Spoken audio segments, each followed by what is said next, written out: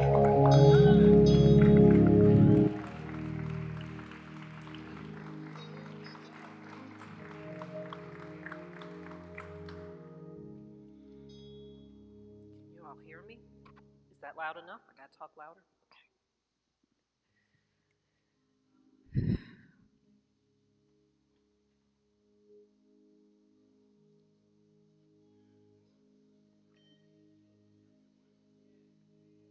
listening to that song all week.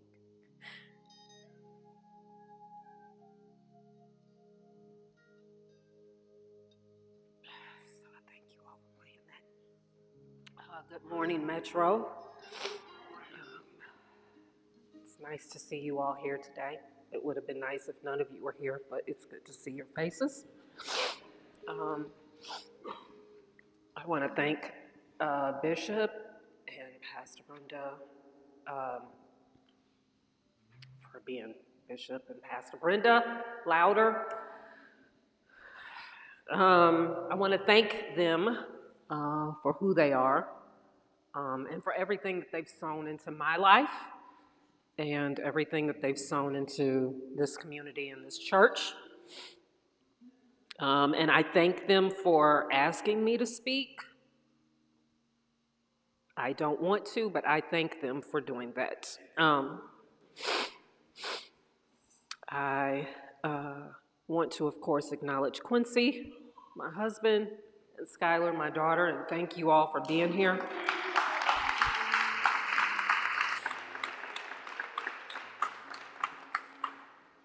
And so many of you all, I could thank all of you all for pouring into my life um, at different times and in different ways. Dr. Harvey, I, I remember when the Lord, um, I felt like He wanted me to go back to school and I was nervous, and He's got such a calming way about Him. And um, I don't know, He kind of settled me that I was doing what the Lord wanted me to do, and it wasn't long conversations, but it's like he knows how to give you just what you need in just a few words, and I really appreciate that. Um, so many of you, Sister Christy and Jerry and Regina, all of y'all. Stephanie didn't talk to me a couple times, like all of you all. I really appreciate you. So, if we can have a word of prayer, Lord, I just thank you for this day. I thank you for bringing us all together. I thank you, Lord, for um, answering the prayers of those that are on the prayer list, God. I thank you for meeting the needs of healing and restoration. I thank you, Lord, for the praise reports that are on that are on there also, Father God. I thank you for meeting the need, Lord. I thank you, Lord, that you are more than enough, Father God. And I thank you, Lord, that you, Father God, are in the presence of every person on the prayer list, Father God. I thank you, Lord, for their environment needing to rise up because you are there and because you are present, Father God. I thank you, Lord, for more prayer, praise reports coming off of that prayer list, Father God. I thank you, Lord, for being the one who is the sustainer of life, Father God. Thank you, Lord. Hallelujah, God. I pray, Lord, that you would touch every life, oh God, in the name of Jesus, even beyond these walls, oh God, that you would touch the lives of those who need you, God, and that is every one of us, Lord. I thank you, Lord, that there is um, that your presence rests here, Father God. I thank you for your presence being with Bishop and Pastor Brenda, God. I thank you for your presence being with those who are members of the house but not here today, Father God. And Lord, I pray, Father God, that you would increase and that you would help me, God, to decrease, Lord, in every way, oh God. I pray, God, that something in this message today will bless somebody, Lord. And I just thank you, Lord, for, for your patience with me, for loving me, I thank you for your goodness and mercy following me all the days of my life. And I thank you, Lord, for your testimony in and through my life. and I also thank you for the testimony in and through the lives of everyone that's here, and again, everyone that is not, Lord. May you be glorified today, Lord, as you have been through the worship, through the prayer that has gone forth, God. May you be glorified in Jesus' name. Amen. Sorry, y'all, I'm a crier. Um, so, last, it was last year, almost a year ago. Uh, Bishop asked, this is a very big stage. How you doing? Um, uh, Bishop asked me to speak last year on blended families, and I tried, uh, with the help of the Lord, to do um, just that. And then Bishop asked me to do it again. Uh, so I am here again. Last time uh, when I spoke, briefly, just a review, um, I talked about the mixes and definitions of blending. Um, I do have one thing to say, and, and, and she's not here, but I want to say it because um, the Lord told me to say it, but she's not here. Um, and I will call her afterwards. But I, I owe uh, Felicia um, an apology. I uh, offended her um, a couple weeks ago. I was not feeling being here and all of that, and I believe that I offended her. So um, I just wanted to apologize. If you're watching through video, I wanted to apologize for that. Um, so back to the uh, review. So a couple of things that I talked about was mixing, and um, there were four different types of ways to mix, and one of them was suspension, which is where things don't mix very well, like oil and water. Um, the second one was, uh, I think it's colloid, um, and that's where it mostly dissolves. Um, the example I gave, I think, was milk and water. Um, the third was emulsion, and that's where there's a forged mixture.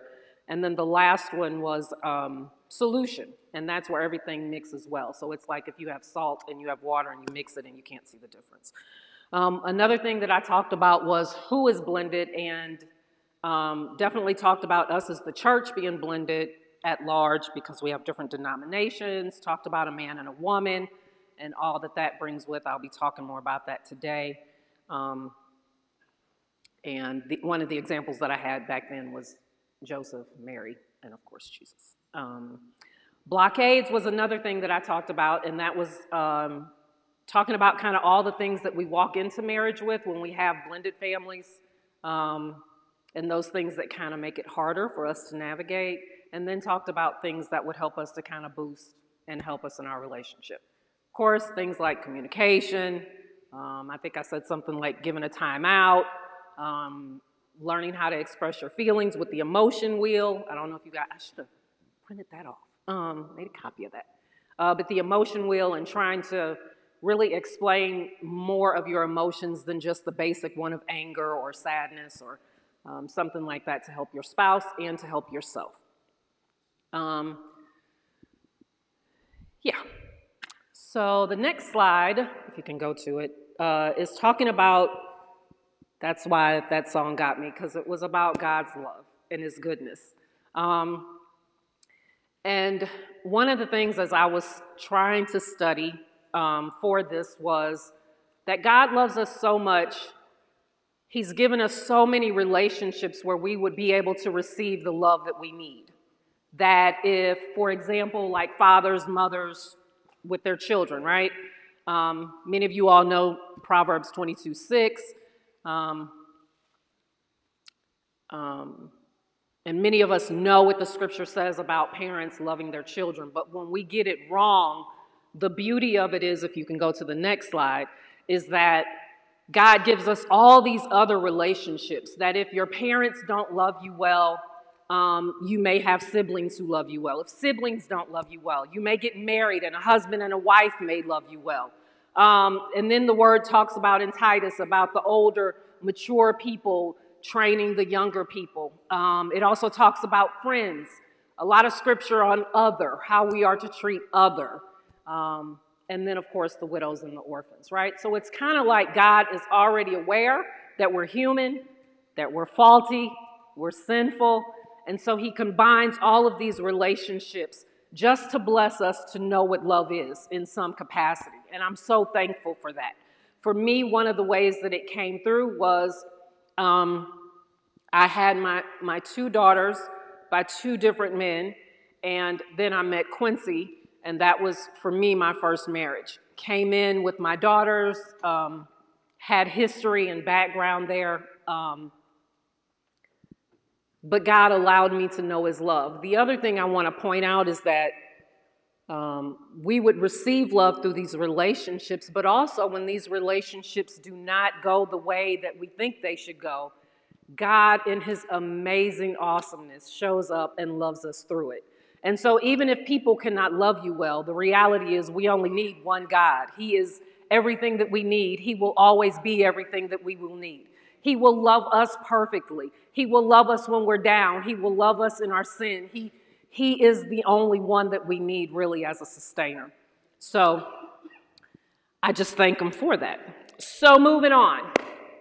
I'm going to be really quick if y'all cannot tell. Um, fleshly blending, uh, the Lord took me to scripture. AB, many of you all know him as Abraham. I just gave him a nickname, I don't know. Um, but AB decided that, you know, he, he, he, well, he was AB. Um, but he, he decided that he was going to try to blend some families, right?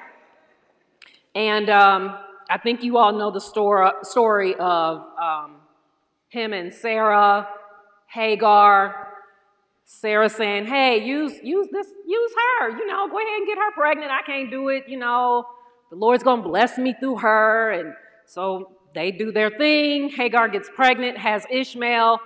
Hagar, I, I think she felt good about herself because she was, you know, she had the child. Um, Sarah had a problem with it. Sarah's like, no, no, no, no. You know, she's getting mad. God gets her pregnant. She has Isaac. Beautiful story. Sarah says she needs to go. That's how that blending worked, right? Um, and that was just with two women. And then we go down the list. JJ, y'all know him as Jacob. Jacob decides, you know, I'm going to go I'm going to Laban's house. I see, Ra- oh man, I'm on the way. I see Rachel, beautiful. I want Rachel. I go back to Laban. Laban says, Yeah, work seven years, you could have her. Um, I'm assuming that that was joyful work because he wanted Rachel. He knew the goal, right? Um, so he works, and Laban says, Sneaky, sneaky, at night, bloop, it's Leah. He, JJ wakes up. He's like, Whoa, this isn't Rachel. Uh, and uh, he goes to Laban and he's like, Hey, y'all know the story. Hey, I was supposed to be with Rachel. And Laban goes, Well, I, you know, I can't, we can't do the youngest, you know. So he works another, he gives them Rachel, works another seven years. And in the midst of that, he also has uh, Leah and Rachel's, I think they were their maids also. So this is a family with four women. All of them have children. You know how that goes. It doesn't go well. Um, and then Day Day, David, a man after God's own heart, right? I, I can't even go through all of that. I, he married Michal and uh, I mean, there was Bathsheba. He had a lot of wives, he had concubines. He just got out of control. Um, and uh, yeah, that was Day Day. And then Solly, oh, Solly, the wise Solomon. Uh, he topped everybody um, with all of his wisdom. I think he had about 370, 70 wives, 300 concubines. Um, I myself am a wife. I, I don't see how anybody would even attempt to do that, but they did attempt to do it. Um, so he had 370. So from these lineages where they they had desires, right, to have children, I'm assuming to have fun, um, and so they blended these families. Uh, it was a lot of struggle. Um, they brought the women together intentionally, right? They had the children intentionally, but sometimes when we get married, not realizing if we've had other relationships, if we have children outside of um, marriage or even within another marriage, we're bringing these people in unintentionally because, right? Um, I myself had relationships. I had experienced what I had experienced. And so I brought that in. I was guarded, I was hurt, um, I had a victim mentality. Uh, I wanted somebody to prove that they loved me, um, which is not a bad thing, right? But Quincy couldn't, he couldn't make up for everybody in my life. He couldn't make up for my dad. He couldn't make up for the men. Um, I told you all I had two children by two different men. There were other men in the story. Um, and so he couldn't make up for all of that. But that's what I came in with not knowing. So I look at these people and I say, why, why, AB? Like, why, JJ? Why, what was wrong with y'all? But the reality is, I had to realize that I too was the same way. I had all of my past had come into my current relationship. Um, and I mean, as far back as my dad. And I think many of us have done that. Many of us may not even be aware that we're doing that, but that is where we are. Um, and then if you think about it, like all the dynamics in those relationships, it's one thing to have a man and a woman get married and they have to figure out communication. They have to figure out, right, all of these, these different things, finances. They have to figure out uh, pleasurable times for adults. They have to figure out, right, how to deal with attitude. But when you involve all of these other people, the dynamics, it, it just explodes exponentially. And if we have a problem one on one, just imagine what they had with their, their two or their four or their 70 or their 370, right? Um, that's chaotic. Nobody's needs can fully get met because, you know, you're trying to deal with kind of just what's going on. Okay, the next slide. So, some of the outcomes of these fleshly blendings were unbelief, um, you know, with, with Sarah, she, she didn't, she couldn't really hold on to what God had told her. Um, and so she tried to find another way. Uh, there was impatience, um, right? Not, not waiting on the will of God and for his timing. There was deceit. If you go through the line, lineage of David and Solomon, uh, a lot of deceit. There was favoritism. There was bitterness and hatred and other things that came from that. There was incest. There was rape. Um, there was murder all because people were trying to blend because of their own selfish desires. Um, yeah, so next slide, please. Uh, and one biblical example of step parenting, of course, is Joseph. Um, in Matthew 1 18 through 19, um, it says he was just an ordinary man. He was a carpenter, didn't have anything special, didn't have um, a lot of money. A woodworker today would be pretty wealthy because we pay a lot of money for wood. Well, I don't, but people do. Um, and he would be pretty wealthy, but Joseph wasn't extremely wealthy. Um, another thing that he was was an overseer. Um, in Matthew 119, it talks about how he was kind of contemplating once he found out that Mary was pregnant. And his contemplation was, I think I'm just going to I'm going to ease out. I'm going to divorce her because I don't want to bring shame on her, right? Because everybody was going to think she's pregnant before they got married. Um, and he was an overseer. And by that I mean he wasn't just looking out for himself, he was, he was thinking about her. He was thinking about the unborn child before he even knew that that was Jesus. Um, another thing was he was obedient. In scripture, that you see behind me that I'm looking at in front of me, um, there were like three dreams that he had.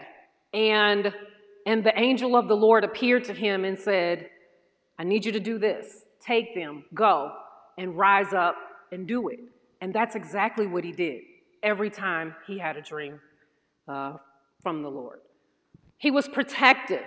He was protective of Mary and Jesus. He took them um, when he was scared of Herod and all of that, fl- fled to Egypt, came back.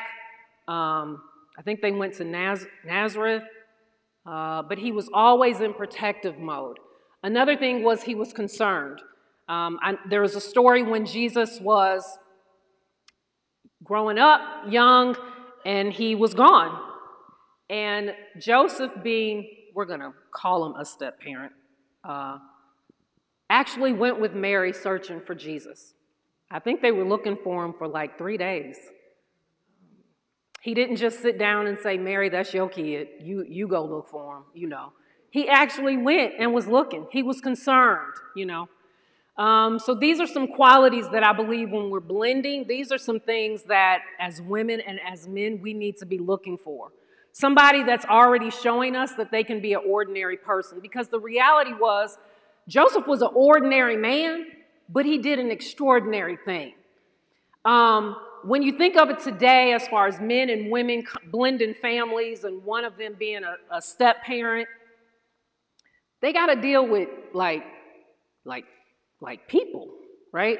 So you got to deal with the drama. You got to deal with somebody else's emotions. You got to deal with somebody being there maybe part time. You know, you, you just got to deal with a lot. The next slide. Joseph had to deal with the father of his child being I am. uh, that's a different type of situation. You know what I'm saying? Like, it's it's the great. I mean, it's it's it's God, right? There is no middleman that you can you can blame. So some of the things that Joseph did not have to deal with, he didn't have to deal with being with Mary and having to deal with her loss, right, from a previous relationship. He didn't have to deal with the drama of an ex. He didn't have to deal with um, the fact that there was already a family established and he's coming in and trying to reestablish a new family. Um, but again, he, he had God being the father of his child. Although we all do that, there are humans in between that we can blame stuff on. He didn't have any of that. Um, next slide. Um, another thing was I, I was thinking that Joseph was what we would call a step parent, but in reality, that wasn't Mary's flesh and blood. Um, so she too was housing a child that was not her flesh and blood. So she gives birth, right?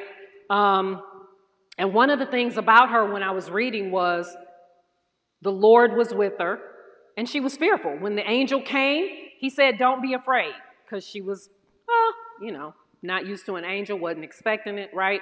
Um, the other thing was she had to know the Old Testament. Um, in Luke 138, um, she had she had told. To, oh, I'm not even going to paraphrase because I'm gonna mess it up. But she had basically said that, um, "May your will, right, be mine. Like do do to me what you're going to do." So that means to me that she knew the word. Um, back then it was the Old Testament, but she had relationship with the word. Um, she was chosen. She didn't choose, uh, but God chose her, and she was humble. Um, next slide. So, some key components to blending a family. Yeah, I'm like almost done, no joke. Um, I just really, y'all can eat and everything real soon. Um, and I don't have several closings because I don't have several closings. Uh, some key components to blending a family. Number one is trust God. Um, blending families, and this just goes for everybody. The reality is man, woman, kids involved, um, no prior relationships. Um, as I said last year, we all come with stuff, right? So we have to learn in this relationship that is before us of marriage on how to trust God. Um,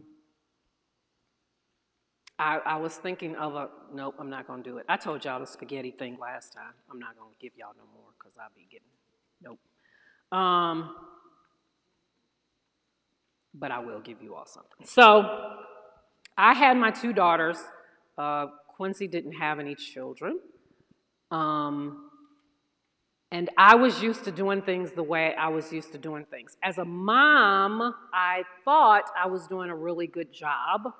I, I was doing a good job, but I, I thought more highly of myself than I should have. And once I got married, the Lord just began to reveal some things in me. It wasn't even about Quincy, He began to show me myself, sorry, and how um,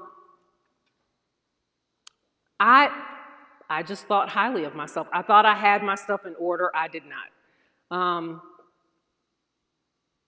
I'm not giving. Anyway, I didn't have my stuff in order. Uh, so there were many times where I had to trust God. There were many times just being honest. Um, I would get mad or frustrated with Quincy, and the Lord, when I would go to pray, He would talk to me about me.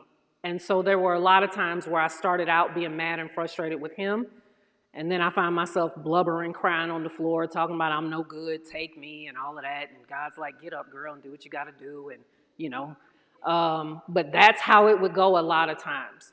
Um, second component that I thought was good as far as Mary and Joseph, um, and as far as Abraham, and as far as Jacob and David and Solomon was for us to have faith in God's timing. Um, most of them, most of those, many of those situations started because someone, a female, could not have a child. Some of those other situations started because men just wanted more and more as far as relationally. Um, but it was all because they basically said, God, hey, sorry, I just realized I don't have my wedding ring on. Hmm. Sorry, y'all. Sorry, y'all. So sorry. If y'all don't know, August 3rd, this is a side point. I told y'all I'd be getting sidetracked. August 3rd, 2003, there were some pews right here, right? And this was a day that I came, we came into church and and me and this is this is an example. I was mad. I was so mad at Quincy. And so we were waiting for the usher to take us down. And he kind of he kind of pushed, right? Because the usher was like, come on, and I didn't see it. And then I got real mad, right? So I sit down in a pew. It was the pews are gone, but it was some, it was probably like a couple rows behind you. Sit down, we sitting there listening to the word and all of that. I take off my ring and put some lotion on.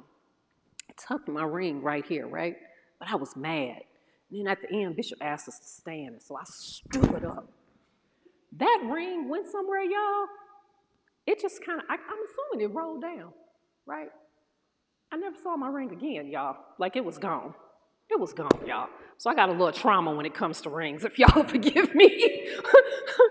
um, but there was a lesson in that, right? I had an attitude. I couldn't receive what God had. I took off something that was a prized possession for me, right? It's gone. Somebody wore it. I ain't gonna lie. I came up in the church probably every Sunday looking at y'all. All of y'all like, somebody got my ring.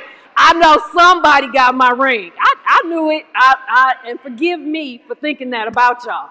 Um, I never saw none of y'all with it on, but I was like, somebody got my ring. Um, but there was a lesson in that, right?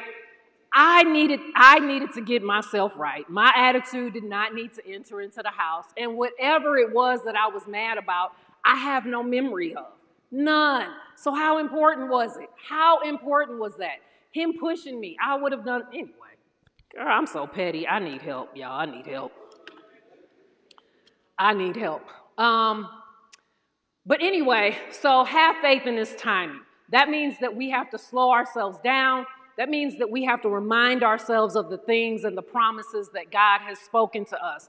That means that we have to go through the prophetic word and we have to really believe that God, you said this is going to be, and I'm going to wait until you fulfill it, not I'm going to do something to make it happen. Because if we look in scripture, that's never a good idea, ever. Like it never, it never, it never comes to pass the way that we expect it to. Um, the other thing is do not lean on our own understanding. That kind of goes hand in hand with have faith in his timing. Um, one of the things that I noticed about Joseph is in him being an ordinary man, he wasn't like Abraham, he wasn't like Jacob, he wasn't like David, and he wasn't like Solomon in the aspect that he did not relinquish his God ordained position. So when Sarah, Sarai, talks to Abram and she says, Go ahead and take Hagar, right? He relinquished his position. He, he, oh, okay, well, you want me to do that? I'll go ahead and do it, you know, just trying to please you. Me and Hagar gonna have our little thing, right? Whatever. He relinquished his position. Um, he was the man. He could have said, No, we're going to wait on God. To me, a prime example of that is sorry for calling y'all out, but Kit and Candace to me are a prime example of that. When the doctors said that they could not, they would not, right? And considering, I'm sure, other options, they stood on the word. I don't care if they were contemplating doing other things. I don't care if, if in moments they lost hope. Overall, they stood on the word of the Lord, and that young man is here today because they did what they did. A great example of what we should be doing in the house of the Lord. We should be standing. So, even now, for those people who, who can't have children, those people who have been told by doctors that they cannot, we pray for you right now under the sound of my voice and those people who cannot hear. God, I pray that those people will hold on to the word of the Lord. I pray that you would help them to clean out their environments to be able to hear you clearly, God. I pray, Father God, that you would increase their faith, oh God, in you, oh Lord. I pray, Father God, that, Lord, those around them will intercede on their behalf, God, and strengthen them in their faith, oh God just like they did for Abraham, holding up his arms, Father God. I pray that we as a body and a congregation will learn how to hold up the arms in faith for our brothers and sisters, oh God, in the name of Jesus, oh God. I pray, God, that you will help those people to not let go of the dream, oh God, in the name of Jesus, Lord. I thank you for that, God. I thank you for more evidence of miracles, oh God, of opening up wounds, oh God. Father God, of clearing the pathway of the sperm, oh God. I thank you for doing what only you can do, oh God in the name of Jesus, Lord. We bless you, oh God, and we thank you, oh God, for you would do it for somebody so low, oh God. I knew I know that you will do it for others, oh God. In the name of Jesus, oh God. We thank you that you are no respecter of persons, oh God. In the name of the Lord. Hallelujah, God. I thank you, Lord. I thank you for them, Candace and Kit, being an example, oh God. But I thank you, Lord, for strengthening others, God, that they too may be an example in the name of Jesus. We thank you for it, oh God. However, you desire to bring them forth, we say yes and amen to you, God. And we thank you, Lord. Um, the other thing is be obedient to God. Um, I was not good at that either. Uh, but when I read the word, I don't feel bad because others were not good at that either. Um, but that was not my strong suit. Came here, we did um, premarital counseling. Quincy and I were just talking about that. Some, some premarital counseling is like, I don't know, like six weeks. Some people have 12 weeks. Uh, that doesn't seem sufficient. But the reality is, I sat in premarital counseling. I gave the right answers, or I gave answers where it's really what I thought, but I hadn't given a lot of thought to it. Um, and a lot of things were based off of the fact that I just I wanted to get married, y'all. I had two kids. Did y'all hear that? I had two. Um, I wanted to get married. So there were a lot of things that I overlooked, a lot of things that I didn't allow God to deal with me about. But sure enough, after I said I do, it was it was easier for him to deal with me because one thing that I've learned is when you're in situations where you're desperate, it is much easier to hear and to receive. Um, and that is what happened uh, after I got married. So, one thing that Joseph was, he was quickly obedient to God. Like I said, when he had the dreams and the angel spoke to him, every scripture said that he would arise and he would go do it. He would arise and he would go do it. So, anybody that's a step parent or a, parent uh, we are to hear the word of the Lord and to arise and go do it. Um, quickly, because distractions will come, things will come to hinder us from what the Lord has told us to do. The other thing about that is, it may not seem like a bad thing. The enemy is very cunning to present things that just, that's not a big deal. You just go ahead and, you know. But that door opens up and we open our hearts we open our families up to sin. Uh, so, quick obedience is pretty important. Next slide. Have compassion for your spouse and your children. Um, as a single parent, like I said, I thought more highly of myself and thought that I had done everything right. When we look in scripture, I'm sure Abraham felt like I'm obeying, you know, I'm, I'm doing what Sarah told me to do. Uh, I'm sure Jacob felt that way. You know, Laban, he was a, you know, little trickster, even though Jacob was a trickster. Um, and so people felt like I'm sure that I'm doing what I'm supposed to be doing. Um, and Joseph, he had compassion for Jesus. Like I said, when Jesus was gone and he was looking for him, he was compassionate about that child. Um, and he went looking and searching for him. The word also says that, you know, they were amazed at how, how well people, people spoke about Jesus. That is something that we need to have. We also need to have compassion. Me being a single parent, I needed to have more compassion for Quincy coming in um, and having to deal with so much more than what he was presented before we got married, right? Dating is very easy, it's fun, it's lovely. I go back to MySpace. Um, but being married is something different. We're in the same home. Um, he really understands my relationship with my children. He really sees some of their um, their hurts and their wounds, and that's a lot for him at the time. I'm assuming to deal with. Um, another thing is to search for them beyond their behaviors. That is the thing about Joseph, right? Jesus, in his eyes, just kind of ran away. He looked beyond his behaviors and he still went searching for him. On another level, I think that when we have uh, blended families and children are involved, we need to do more searching of the children, not searching of the spouse. Is that me? Huh? Oh, I'm sorry. I thought that was me. Um, we need to do more searching of the children, right? So we need to we need to when you bring families together and children are involved, it's easier for the adults to kind of blend. Even in my sessions, I have a couple blended families and it's very easy for them. Just being honest, right? They could have a good time, they could go out, they could have sex with each other, they could laugh and watch movies, but sometimes the kids are involved and they have a slower time as far as the transition. Sometimes they're trying to to, to be loyal to the parent that's not in the home while being loyal to the parents that are in the home, plus learning to adapt to the new ways that things are done with these new parent, the new parent and their their their uh, regular parent in the home. Um, so, as step parents, as parents, when we blend families, I personally feel like we need to do more searching of the children. We need to we need to ask the Lord to reveal their wounds to us. We need to ask the Lord to reveal places where they need maybe extra love. We need to ask the Lord how, how we need to navigate as a family and also include them in everything that they've gone through. Um, the other thing that I had up there is give step parents time to kind of bond with their children.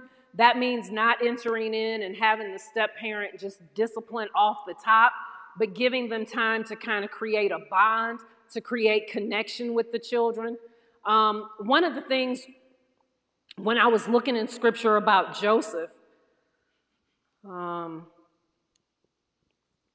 sorry, y'all, I can't see. And I think it was Luke 2 48 through 50. That was the scripture when Jesus left. And, and so Mary comes up to him and she's like, You know, Jesus, where were you? We were, you know, me and your father, we were looking for you. And he said, Why were you looking for me? Did you not know that I must be in my father's house? And they didn't understand the saying that he spoke to them. So Jesus was saying, Y'all, this, you know, my father is God. I got to be doing his business. I can't be around y'all. Um, they didn't fully understand. But the thing that I like about Joseph and Mary is that even though they didn't understand, over time they came to understand. So, what did that take? That took them observing and that took them listening and hearing from God to be able to fully understand um, what he was talking about. And the example of that is when, when they go to the wedding and Mary is telling them, Y'all got to get ready because he's about to do something. Mary ain't never seen him do a miracle ever, ever, ever. but there was something in her because of her relationship with the Lord, because of the things that she had seen, she had come to expect that her son was going to do miracles, and that's exactly what happened at that wedding. But that's because they took time to study him and to study what the father was telling them about him. And that's why I think that's so critical in blended families. Um, the other thing I wanted to say is to get a support system. Um, going through premarital counseling is helpful, but it's also helpful to get families, to get people around you. Like I wish I would have done that with Dr. Harvey and them. But to get around families who also had blended families. Um, to be able to see how they operate, to be able to talk about issues that are coming up that may not necessarily come up with people who have gotten married and had their children together. Um, and of course, I'm going to say it because y'all know I do therapy, but definitely consider counseling um, or some type of mentorship with, like I said, maybe an older couple in the house or something like that where you all could talk to them. Um, I think I am coming to my close. I think I'm coming to my close. So one thing, I, another thing that I wanted to say about blended families is that Joseph came in he had the thought of going ahead and getting the, you know, kind of divorcing her. Um, and part of his thought was so, so, he, so the situation wouldn't bring shame on Mary. The reality is, if Joseph would have walked away, Mary would have had to go through that all by herself of being pregnant, saying that, you know, no, it wasn't Joseph's and it was no man's, you know, the Holy Spirit did this to me. But Joseph actually came in and walked beside her and he was a covering for everything that she could have encountered by herself. And he absorbed some of that. Um, I think that that is very important when we are blending families to look for somebody who will absorb some of the pressures and some of the things that you're going through. I think that is the beautiful thing about Metro. When I say thank you to so many people, it is because so many people have absorbed things that I was going through sometimes without even knowing that I was going through it. Like Sister Regina is one that I so admire and I appreciate. Um, she brings that East Coast, um, it is East Coast. It, it's a it's an East Coast flair that's kind of like I'm gonna tell you what I'm gonna tell you. You gonna take and do what you gonna do. Um, but here it is. She's very um, honest and truthful, and I must say, at first, I think I misunderstood that because that's not where I've, I've come from. And so some of that felt very rough and it felt like sandpaper. But over the years, I thank God for softening my heart and giving me understanding because some of that is needed. You don't need to hold my hand and kiss my boo boos and wipe all of that away. Sometimes what I need is the truth. And I thank you for that because you've helped absorb some of the things that I was going through without even recognizing it. Sister Christy is another one. she, you know, she is, I remember when I, I, say it all the time, like I came to Metro and I, I just thought, wow, this woman, this woman, this woman, this woman. You know there's something special about people, but when you don't know them, you don't know them her heart.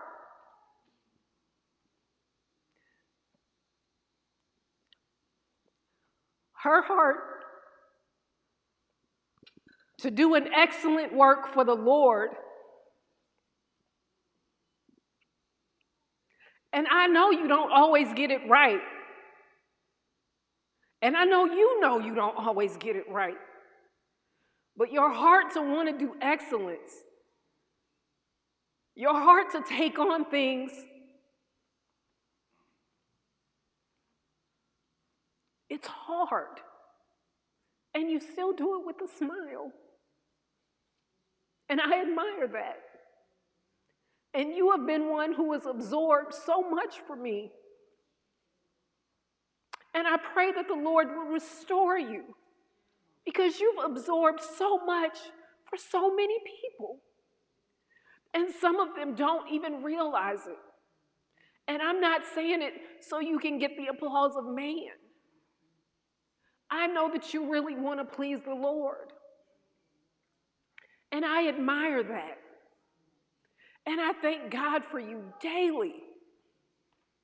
your help, leaving the church late, and you'll come by and you'll give somebody a card. You want to make sure you call somebody and just tell them that you're thinking about them. Not just me, you do it for so many people. You absorb the shock, you absorb it for so many people. I admire that about you. Um, George and Val, like, it's a different type of way, but they knew me before Metro. They were part of me coming into Metro through Sonia and through Mary, but always had open doors. Always had open doors. George is one who would give you, like, he'd give you whatever he had. Val was one, you know, she, I know that they've gone through things, but Val is one that always had a smile on her face. And it would help me in days where stuff, stuff was going on at work, stuff was going on with my children. Um, they've been shock absorbers when I was young and dumb, like just shock absorbers. Just because they would have conversations, they wouldn't be judgy about it. And I appreciate that. And so all I'm saying is for a church, like we got to learn how to be shock absorbers for people. And it's not just in giving and in money. I'm talking about, I'm still talking about blending. We got to blend as a church.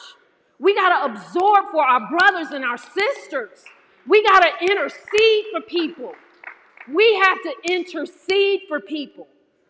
Like, we got to intercede for this community. We can't lean on Bishop telling us what to do. We need to be doing that. We need to be out here in these streets. I ain't saying at night or nothing like that because y'all ain't gonna see me at night. But you know, like me walking to my car, I could speak to somebody, right? Like, like I could see somebody and say, Lord, it looks like they need a touch. Help them, Lord. Is there anything I can do? Lord, because you know me. I'm, I'm a chicken. So, you know, make it within the parameters that I can do something, right? Like, but we need to be absorbers if we're going to blend, if we're going to be the church that God has called us to be, right? We got to learn to take hits for our family. We have to take hits for our family, right? If I come in and I get pregnant, y'all could talk. The other, I, the, old church that I was at when I was pregnant. I don't know if I said this, but one day I was pregnant and well, no, that was my second. This was my second pregnancy. The first one, that's a whole nother story. But my second one, I was, I, you know, the, the at the time, the father wanted to be in my life, and I had a little more confidence with my second pre- pregnancy. I shouldn't have, but I did. Um, and so I was at church one day, and I walk around the corner, and these two women were talking about me. And one of them was like, Oh, she's so whorish. That's her second baby. And then made some comments about my mom. Um, and I was hurt. But guess what? I was whorish. it was the truth, right? Um, but I think there's a way to say it. I think there's a way to go about it. And I think there's a way to be a part of a church where it doesn't feel like me against you all, right? I'm not saying to glorify the sin. I wasn't looking for them to have a celebration and all of that. But man, can you can you just be honest that, that you had something in your life before? Like, was I the first person to sin? I'm did I, I am the first person to have a baby? Because I'm the first. Okay. I just, you know, can we have again some compassion? Some compassion. Um, but that is for us to blend. We have to do all of these things. I know that I'm supposed to be just talking about marriage. I know that. But the other marriage is Christ and his church. None of us escape this message, y'all. None of us. So when we talk about blending and we talk about um, bringing other people in because of your past, some of us have been in other churches and y'all trying to bring some of that stuff up in Metro. I don't know if it's flying, but some of y'all trying to do it, right? Y'all want it to be how to, how to, nope, not gonna call denominations. That's not good. It's nothing wrong with it. I'm just saying I ain't to do it. Um, but bringing other denominations up in here, bringing the way, like I'll say it for me. I came from a church, we had, it was a community church, right? And I do kind of miss that, right? So there are days where I come up in Metro and I'm like, man, I wish, you know, I wish we had some more old people up in here. Like, I wish we had some more, you know, some more of them people, right? That could like, I I mean, we do have old, older people, but I mean, like, at the church I was at, they was like old, like, I mean, like Frederick Douglass old. Like, they was like, you know, coming in and walkers and stuff, you know. They would be dressed in white and still be, you know, being an usher at the door and, you know, but there were things that I saw and I learned, you know. And so coming to Metro, it was it was a quite it was it was a lot younger and and the our church community is kind of spread, right? So but but we do that. We we bring things from from other pastors here, right? And we're looking through those eyes. So when somebody says something or does something, we thinking about Pastor so and so, but he he been gone. We ain't at his church no more. And Bishop and Dr. Harvey and Elder Marshall and Elder Joe, like they're not those pastors. These are completely different men. Completely different men, right? And it ain't just men, women too. Um, these are all the things. We need to have compassion for each other, right? We are the bride. We are the bride. And so we got to get this together, y'all. We got to get this together.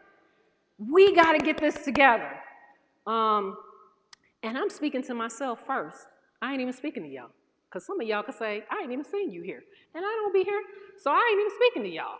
I'm speaking to myself. I'm going to be honest, I'm speaking to myself, right? Um, really.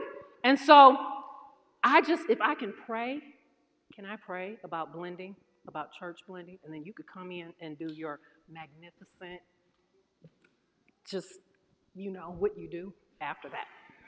Okay. So, Lord, I just thank you. I thank you for the word. I thank you for the songs. I thank you for the worship. I thank you, Lord, that you are a good God. I thank you, Lord, as Kit said in his message before. I thank you, Lord, that goodness and mercy follow us all the days of our lives, oh God. I thank you, Lord, that you reign and you reign supreme, oh God. I thank you for the compassion that you have over us as your people, oh God. I thank you, Lord, that you are long suffering I thank you for your grace, oh God. I thank you that you love us unlike any other, Father God. I thank you, Lord, that when you see us, you see the blood of your Son, oh God, and you don't see us by the things that we have done, oh God. And I am the first one in line to say, Thank you, Jesus, because I need that, oh God. I need you to see the blood, oh God. But I thank you, Lord, that even in the midst, oh God, with sin that we have encountered and we've taken a part um, of that, God, like our ancestors, God. We've eaten of the fruits, oh God. I thank you, Lord, for your forgiveness, oh God. Your forgiveness that wipes the slate clean, oh God. I thank you for your unchanging love, oh God, over every member of Metro, oh God, over every member of of um, the congregation of people that used to attend Metro, Father God. I pray your unfailing love, Father God, over everyone who has contributed to the house of Metro in any way, oh God. I pray, Father God, for the people who have contributed and been a part of other churches also, oh God. I thank you for your unfailing love, oh God. I pray, God, that you would show us how to blend as a congregation, oh God that you would show us how to blend as a family, oh God. Even the term a blended family, oh God. Give us new insight and revelation, oh God. For we never reach the point of complete blending here on earth, oh God. Lord, help us to be in the process of blending, oh God. Help us to recognize that, oh Lord, in the name of Jesus, oh God. Lord, I pray for everyone in this house who has a need, oh God. I thank you, Lord, that you will meet the need, oh God. Lord, I thank you for purifying our hearts, oh God, helping us to want to do better and get more, Father God, to give, oh God, and to help your kingdom, oh Lord. In the name of Jesus, oh God. I pray, God, that the fire of the Lord would fall upon this house, oh God that you would burn away every selfish motive, oh God. that you would burn away every evil desire, oh God, and that you would purify us, oh God, that we may be one with each other and one with you, oh God. I pray, God, for those who are carrying the load, oh God, those few people, oh Lord, who are doing the parts, oh God. I pray, God, that you would give them rest in their souls, oh God. Help them, Father God, in their minds to be able to hear you and to see you, oh God. Help them in their hearts, oh God, to, to be able to open up to you, oh God. Give them rest in their bodies, oh God. I pray, Lord, that the strategy of Metro will be the strategy of the Lord for Metro. In the name of Jesus, oh God. In any way where it's off, oh God, that you would gently lead us back to your path for this house, oh God. In the name of the Lord. I thank you, Lord, for every chair here, Father God. I thank you for every bottom that will be seated in it, oh God. In the name of Jesus, oh God. I thank you, Lord, for a full house, oh God. Not for the numbers, not for the money, oh God, but so that your word, oh God, may go deep in the hearts and in the souls of your people, oh God. That lives may be changed, oh God. That the community may be changed, oh God in the name of Jesus. I thank you for it, oh God. I thank you for your word going forth to those watching over video, oh God. I thank you, Lord, for ministering to them, oh God. I thank you for those in the house, God, that serve the community, God. They don't have titles. They're not known here for that, oh God. But I thank you for those people that do it, oh God. I thank you for every life that they touch, oh God. I thank you for the ministering hands. I thank you for the ministering feet, oh God, of people who go outside of these walls, oh God, and reach the community, oh God. I thank you, Lord. I pray, God, that you would help us to blend, oh God, that you would help us to yield our will, oh God, that you would help us to be patient in your timing, oh God, that you would help us to wait on you, Father God, that you would help us to follow after peace, oh God that you would help us to see our brother and our sister as ourselves, oh God. Lord, that we will not make distinctions within the house, oh God. Lord, that as we see somebody that is sinned, oh God, remind us of ours, oh God, so that we may not be too high and too lofty, oh God. I thank you, Lord, for bringing us back to where we need to be, oh God. I thank you, Lord, that this is a house that is served, oh God. This is a house that has changed lives, oh God. This is a house that has served and serviced the community, oh God. I pray that the works of Metro will continue long beyond Pastor Ray, long beyond any of the members, oh God. I pray for the works that are lasting, the fruit, Father God, that will never die, oh God, in the name of Jesus. I thank you, Lord, that you're the healer, oh God, that you're the healer, Father God. You're the healer of those, Father God, who have injury, oh God. You're the healer of those who need help in their minds, oh God. You alone are the healer, oh God. So we submit to you, oh God. Have your way, oh God.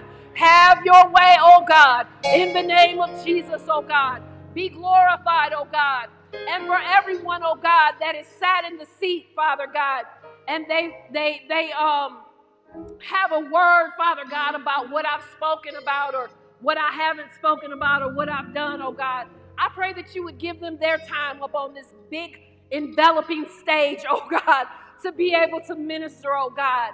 Lord, I pray that we would hear new voices, oh God, that the word of the Lord would come from those, Father God, who do not feel qualified, oh Lord. In the name of Jesus, oh God, I thank you, Lord. I thank you for a mighty move sweeping through Metro, oh God. In the name of Jesus, I thank you for protecting our bishop and our first lady, oh God. I thank you, Lord, for the ministry that they're bringing where they are and even to the Rock Church, oh God. I thank you, Lord, for lives being impacted, oh God. I thank you, Lord, for lives being touched, oh God. And I thank you for the imprint of St. Louis being in the states and the cities that they will be in, oh God. In the name of Jesus, oh God.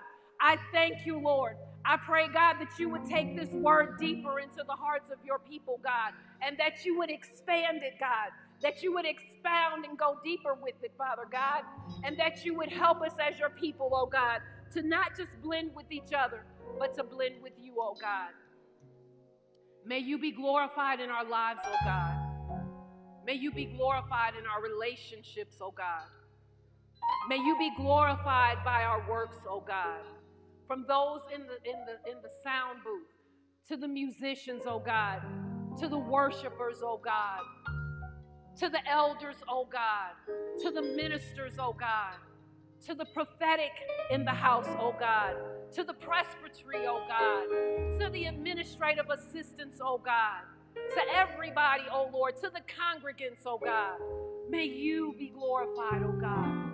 Today, today, today, oh God, may you be glorified, oh Lord. I speak your peace over everyone here, oh God. And I pray for the goodness of God to consume them today. Thank you, Lord, for seeing every tear. Thank you, Lord, for helping everybody in transition. Thank you, Lord, for being there for people who don't have enough, oh God.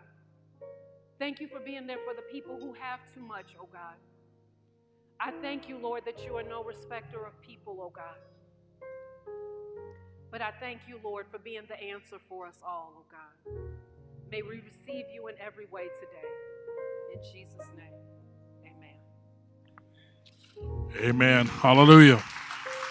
Hallelujah. Glory to God. Thank you, sis. Amen. Hallelujah. Glory to God. Hallelujah. Amen. Hallelujah. Amen. Hallelujah. Hallelujah. Can we get some on this mic? Amen. Hallelujah. Glory to God. Amen. I can hear me, but I can I don't know if y'all can hear me.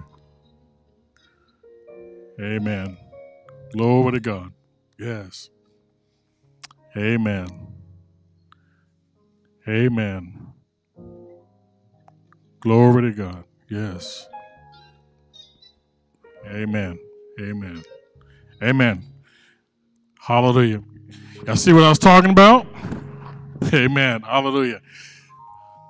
I think I think they can hear me now. Thank you. Thank you.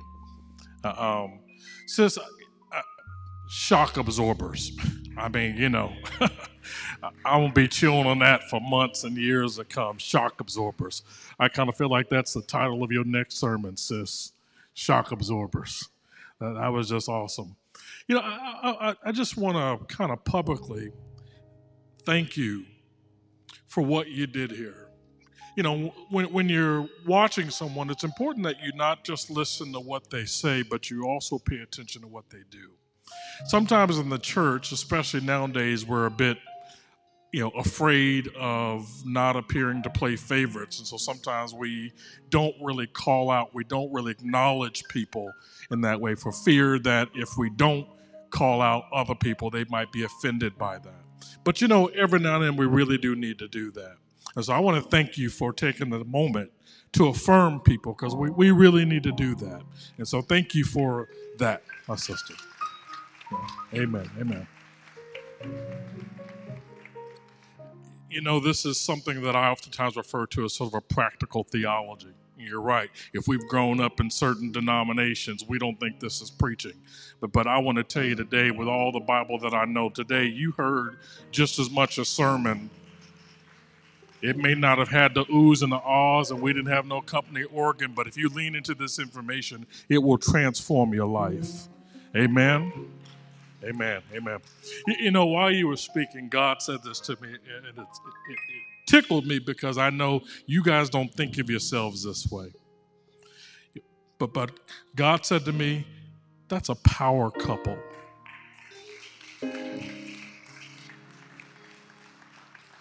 I know, and, and the funny thing is that I'm not even saying it for your benefit, I'm saying it for their benefit. This is a power couple. I know some of y'all think it's Beyonce and Jay Z. Right? You might even think it's Barack and Michelle. But but I want to tell you in 22 in 2022, flaws in all, background in all, not necessarily hitting it in all, right? This is what God thinks of as a power couple. Look at where they're at today. On this stage. Amen. Hallelujah. So so I, I wanted to do that. Like I said, it ain't even for y'all benefit. It gonna take y'all a minute to embrace that upon yourselves. But but but people need to see this is what a power couple. Young people need to see this is what a real power couple looks like today. Amen. Hallelujah.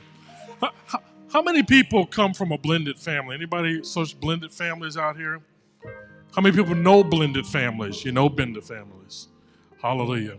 You know, one of the, the bullet points that my sister had up here, you know, that that, you know, everybody associated with a blended family was amen in every bullet point, right? Like I was looking at my wife, she was this all along, right? That, that was definitely our journey.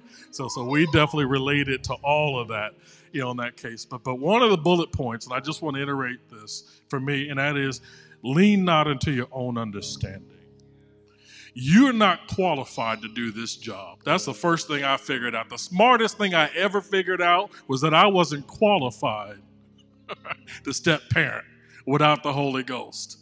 Amen. And so, so the smartest thing I ever did was to not lean into my own understanding. For those of you who don't know, I have a PhD in psychology, but I was smart enough to know that I was not qualified, right, to do this job. And that's what I want to encourage you to do.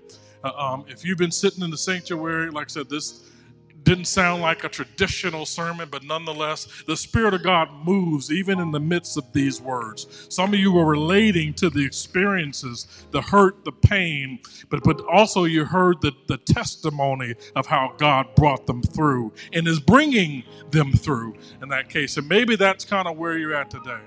And so I want to give you an opportunity Because all of what she talked about today does not begin until you say yes to God. Doesn't begin until you decide that I'm not going to try to do this my way. That's leaning on your own understanding. I'm not going to do it my way. I need help. For me, that's the most sincere prayer. Sometimes we make these prayers too convoluted, we make them too theologically deep. Let me tell you something the most sincere prayer you'll ever pray is help that's a prayer. Help. And that's what I want to encourage you. That's what I want to offer you. I want to offer you help today. And if you just say that to God, I don't have a sophisticated prayer for you today. I just have that one word for you. If you will say to God, help. But here's what that means it means that you are surrendering. If you're drowning and you ask somebody to help you, that means that you're going to surrender yourself to their help. Amen? You can't say help and then you start dictating how they're going to help you. You're going to drown, right?